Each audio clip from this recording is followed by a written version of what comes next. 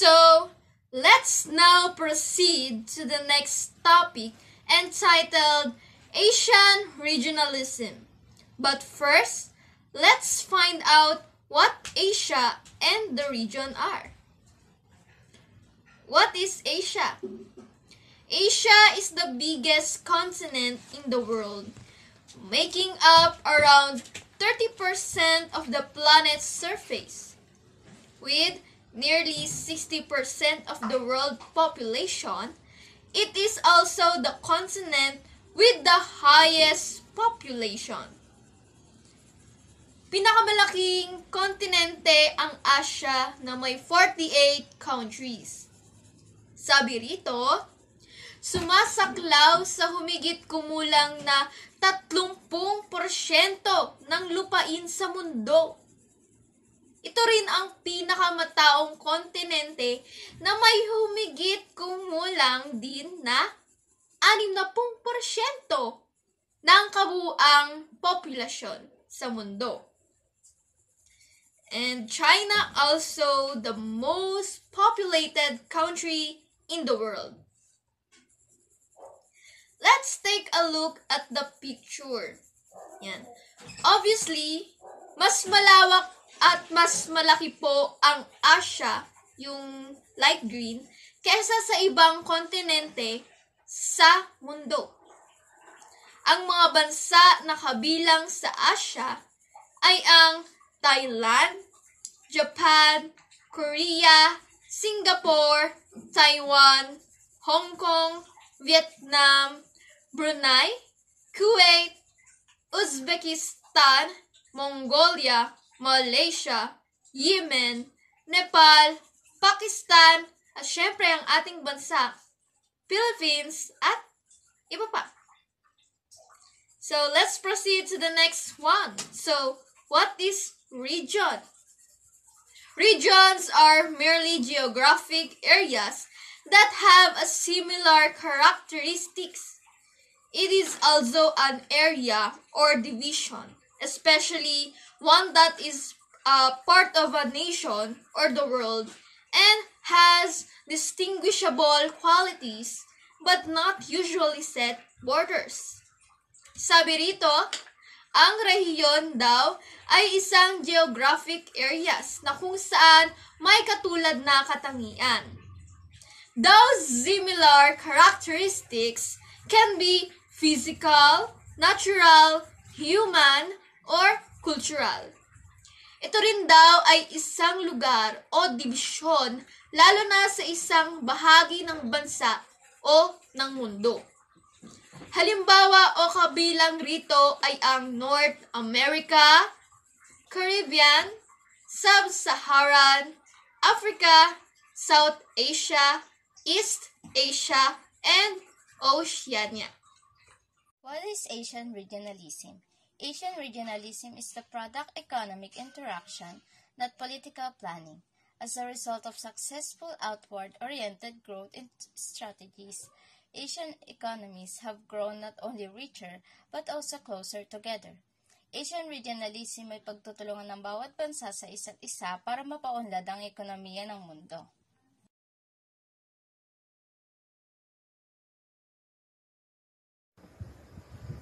Good day, everyone. Again, I'm Alona Cortez, and for the continuation of our report regarding Asian regionalism, I will tackle about how Asian economies are connected.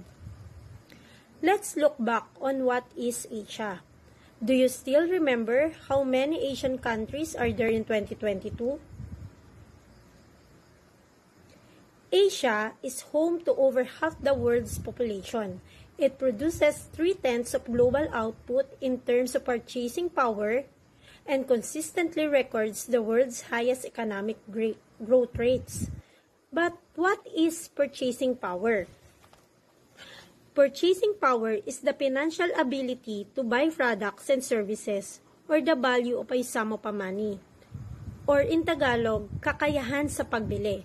Paano ito nakakaapekto? Nakakaapekto ito mula sa pagbili natin ng goods hanggang sa pagbili ng in- investor ng stock. Kapag ang purchasing power ay mababa dahil sa mataas na mga bilihin, magkakaroon ito ng negatibong epekto sa ating ekonomiya. For our next slide, Asian economies are increasingly connected through different factors. One of them is trade or kalakalan. In Asia, particularly important in such trade were fine textiles, silk, gold and other metals, various precious and or semi-precious stones, spices, and some aromatic products. Ito yung mga produktong karaniwan natin binibenta sa pakikipagkalakalan. Next is financial transactions. Example nito is between Asian Development Bank or ADB. Asian Development Bank is committed to achieving a prosperous, inclusive, resilient, and sustainable Asia and the Pacific, while sustaining its efforts to eradicate extreme poverty It assists its members and partners by providing loans, technical assistance, grants and equity, investment to promote social and economic development. Third is direct investment o pamumuhunan. The Asia-Pacific region maintained its position as the largest source of global foreign direct investments, outflows since 2018 developing countries in the region accounted for 77% of all outflows in 2020. Ang pamumuhan, ang pamumuhunan ay maaring sa pamamagitan ng istruktura, kagamitan at mga organisasyon ng bansa. Fourth is technology. Asia also manufactures more than 50% of the world's automobiles produces 75% of its robots and provides 50% of global high technology exports. Halimbawa ng mga produktong gawa sa Asia ay halimbawa sa mga sasakyan is Toyota galing Japan, Hyundai ng South Korea, Vivo sa China, Samsung ng South Korea. Next natin is labor. Unemployment and, and underemployment are developing Asia's most important problems. On conservative estimate, the region is home to about 500 million workers who are either underemployed or unemployed. Therefore, helping people as worker is critical for poverty reduction. Lalo na po ngayong pandemya, marami sa mga manggagawa ang nawalan ng trabaho although ang Asia ay kilala bilang pinagkukunan ng mga skilled workers. And lastly is the tourism outflows. Dahil sa nangyaring pandemya na nararamdaman ng buong mundo, isa ang turismo sa pinaka-naapektuhan. Tourism has been one of the hardest hit sectors by the pandemic, fueled by extensive international travel restrictions and the fear of infections. One promising approach to re- reopening borders for tourism is instituting travel bubbles or green lanes. Ano ba yung travel bubbles? It's a bilateral agreement between government to allow for business and or leisure travel according to agreed health protocols. China and several countries in Southeast Asia and the Pacific have been particularly successful in fighting the pandemic they have become low risk, which makes them natural partners to form travel bubbles. What is Asian regionalism? Asian regionalism is the product of economic interaction and political planning. As a result of successful outward oriented growth strategies, Asian economies have grown not only richer but also closer together purpose ng regionalism is to moderate the behavior of the states in some way, to make trade and investment between the neighboring countries, and to build communications. Asian, Asian countries had to do more to support themselves. The trade agenda, which had dominated the second period of Asian regionalism, was overtaken by the new emphasis on financial cooperation. The main result here was a shift from Asia-Pacific regionalism to one more focused on East Asia itself. The importance of the Asian regionalism. Regionalism encourages local governments to pool resources, talents, and effort.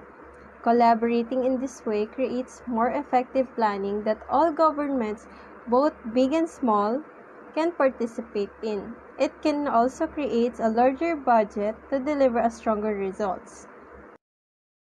So, this is the continuation of what makes the world third nation. Low self-consumption of natural resources. It means mahina tayo mag-consume ng natural resources na pwede sana natin magamit para magkaroon ng profit o kita para mas mapaayos o mapalago ang ekonomiya.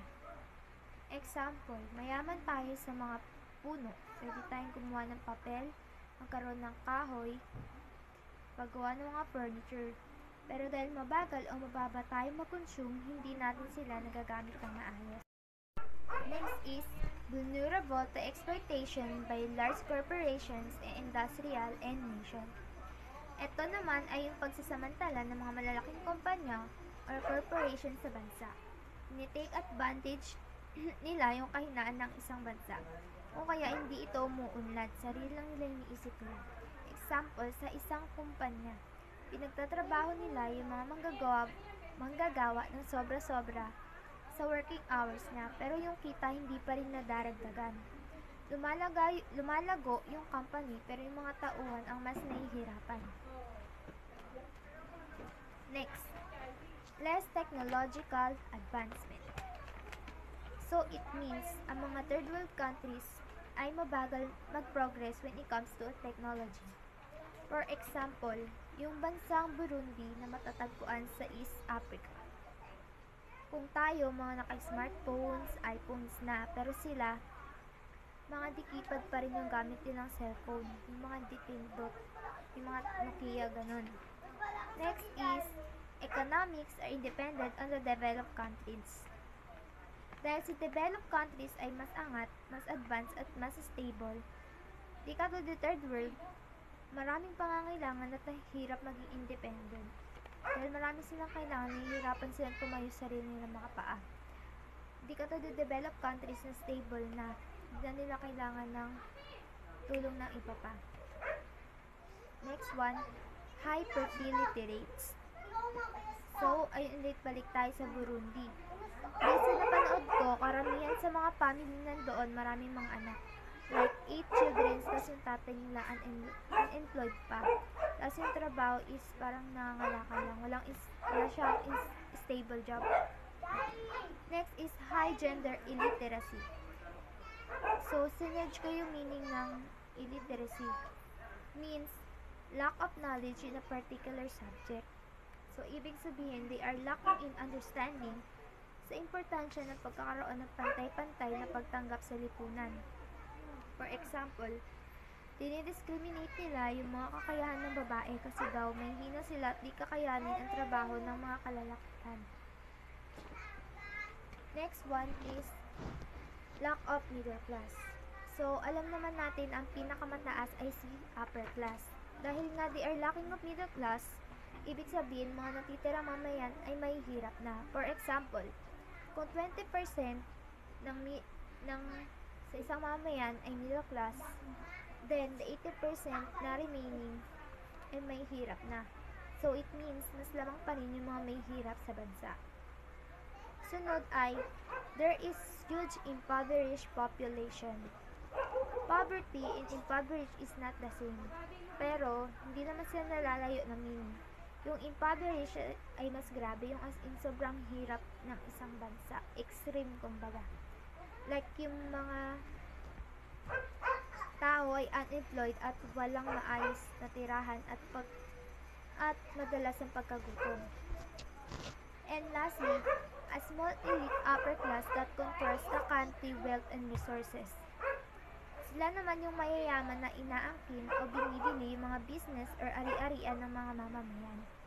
Tulad na lang ng example ni Sir nung ang face-to-face classes natin, yung prime water na dati pagmamaari ng mga mamamayan ngayon ay binili na ng mga bilyar para sa sarili nilang kapakanan.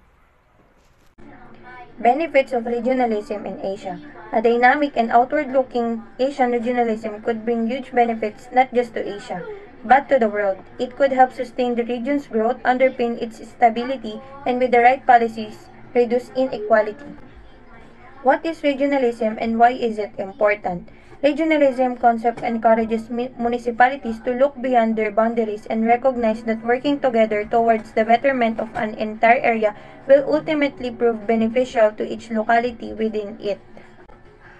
What are the benefits of regionalism? Regionalism encourages local governments to pool resources, talent, and efforts. Collaborating in this way creates more effective planning that all governments both big and small can participate in. It also creates a larger budget to deliver stronger results.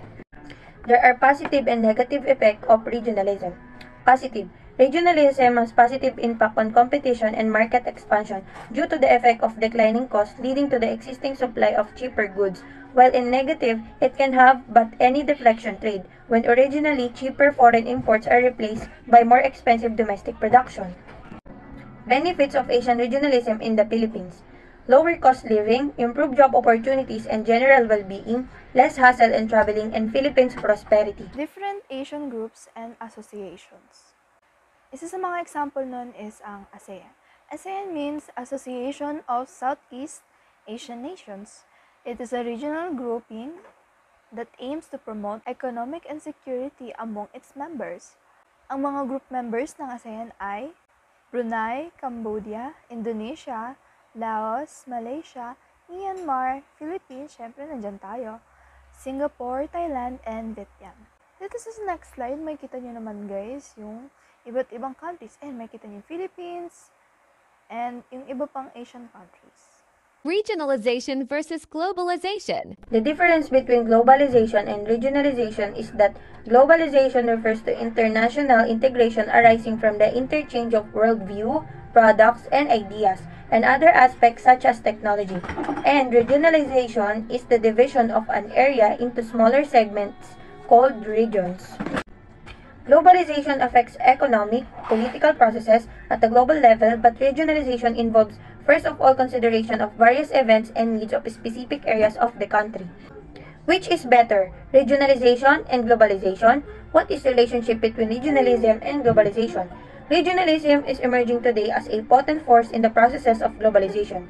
If globalization is regarded as the compression of the temporal and spatial aspects of social relations, then regionalism may be understood as but one component or chapter of globalization.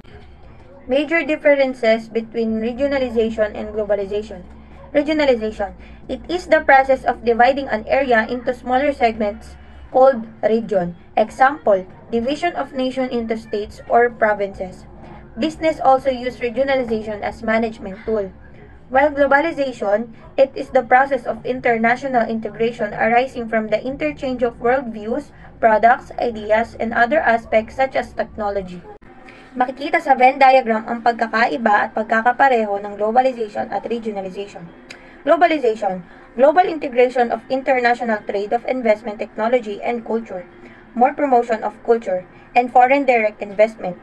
Regionalization, regional integration of countries that divided into areas called segments, less promotion of culture, promote domestic product, At ang pagkakapareho naman ay they both aims for economic growth and movement of economic integration. Thank you for listening.